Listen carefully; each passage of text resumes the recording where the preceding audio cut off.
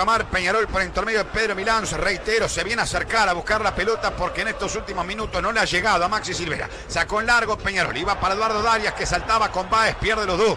Recoge otra vez el equipo boliviano devolviendo mal. Restablece la tenencia Darias que es de lo mejor de Peñarol. De Darias para Cabrera. Cabrera otra vez jugó hacia el medio para Baez. Viene, viene, viene. ¡Está! ¡El de Peñarol, Leo Fernández! Acaba de convertir la apertura de Cor. Gol de Peñarol Leo Jugada por la derecha. Vino el centro abierto hacia atrás. Gran, pero gran visión de campo por Jaime Báez. Lo vio entrando a Leo Fernández, recibe una pelota abierta. Y este cachetea en forma corta con su pie derecho para ubicarla ante el parante izquierdo de Vizcarra y decretar Peñarol lo que merecía hace un ratito el tanto apertura Leo Fernández, autor. Peñarol 1, de Strong 0.